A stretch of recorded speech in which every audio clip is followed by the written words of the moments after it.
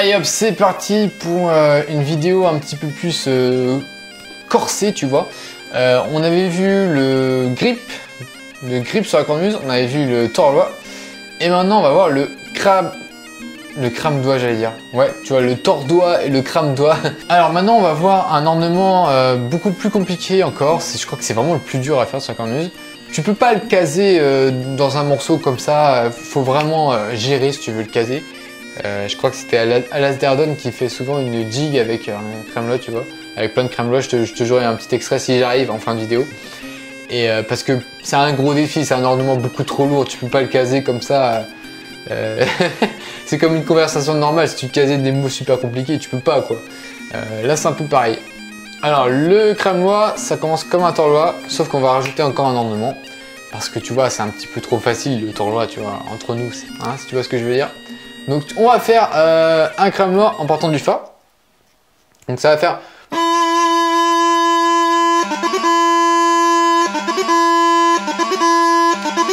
Tu vois, c'est ça le crème noir en gros. Et euh, lentement, ça fait...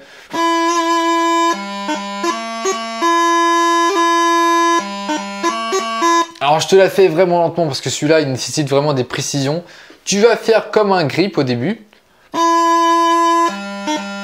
Ok, jusque là tout va bien, on sait faire. Et là, tu vas faire bah, comme le torlois. Tu vois, donc finalement, ça commence comme un torlois, c'est pareil. Et là, attention, accroche-toi bien. On va rajouter un autre ornement. Ça va être l'ornementation de, bah, du coup, si on lève le deuxième doigt, ça va faire un, un, un sol, pardon. Donc voilà. Déjà, fais ça lentement.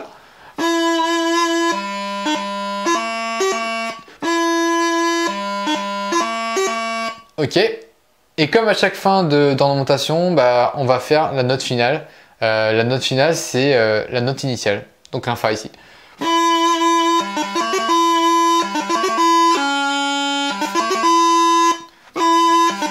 Euh, non, je dis des conneries. Euh, la note finale, en fait, là, c'est un Fa parce qu'il se trouve que, voilà, nous, on a commencé sur un Fa.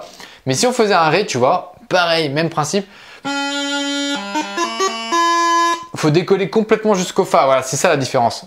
Le Fa, c'était un mauvais exemple, d'accord On va prendre plutôt une note classique, le Ré ou le Si. Le Si, par exemple.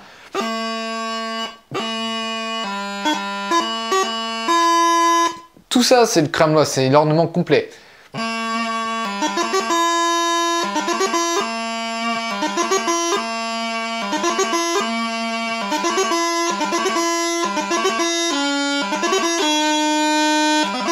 Et là, sur le mi, tu te doutes bien, bah, on va faire un petit peu comme le torlois, mais avec euh, du coup ce détaché-là. Ça fera l'objet d'une vidéo parce que c'est assez compliqué. Donc, et il y avait, euh, moi j'aime bien donner cet exemple, tu peux écouter d'ailleurs le CD de, euh, de Recharge de Phil Marshall Montgomery, donc c'est un pipe band écossais super connu qui gagne tous les concours en ce moment en Écosse.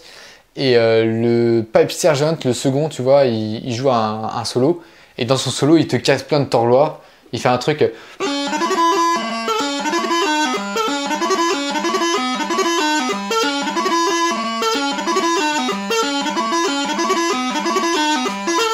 Ça demande de la pratique, je te referai peut-être une vidéo où euh, je me serais, je l'aurais bossé avant, tu vois, et pour que ça sonne bien. Mais c'est vraiment un entraînement, hein. Tu n'auras pas ça du jour au lendemain, faut s'entraîner.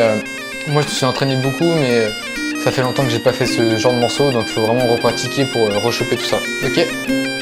Allez, comme à chaque fois, tu es libre de recevoir gratuitement le PDF et l'audio qui te résume euh, toutes les orientations que tu peux faire sur la cornemuse, euh, comment ça sonne et à quoi ça ressemble, d'accord? Tout simplement.